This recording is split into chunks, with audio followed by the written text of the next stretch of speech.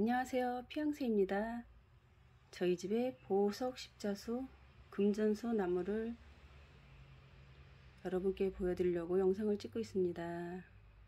제가 직접 하나하나 붙인 보석 십자수거든요. 작은 구슬을 하나하나 일일이 붙인 거예요. 일명 뭐 돈나무라 그래가지고 돈 들어온다는 나무인데 돈이 들어오는지 안 들어오는지는 잘 모르겠고요 보시면은 이렇게 구슬을 다 일일이 붙인 거예요.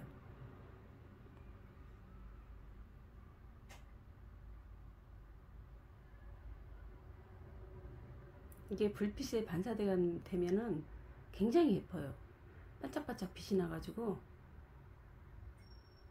이렇게 보면은 이렇게 보면 이게 약간 누런 금빛 나는 구슬이 있죠. 그거는 AB 비즈라 그래가지고 조금 빛이 나요. 더.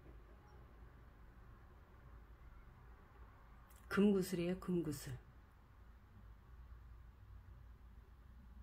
똑바로 붙인다고 붙여도 약간씩 좀 틀어지네요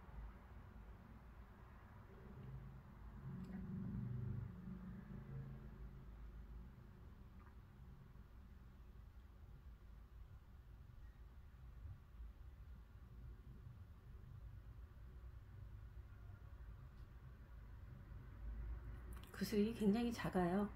지금 많이 확대를 시켜가지고 여러분께 보여드리고 있거든요. 예쁘지요? 참 예뻐요. 실제로 보면은 이 불빛에 반사가 돼가지고 굉장히 예쁘거든요. 이 영상을 찍으니까 이 원본 색깔이 잘 안 나오네요. 원본 색깔이 딱 나오면 여러분께 제대로 보여드리면 좋을 텐데 좀 아쉽네요, 여기. 지금까지 피양새의 보석 십자수 금전수 나무를 보셨습니다. 감사합니다.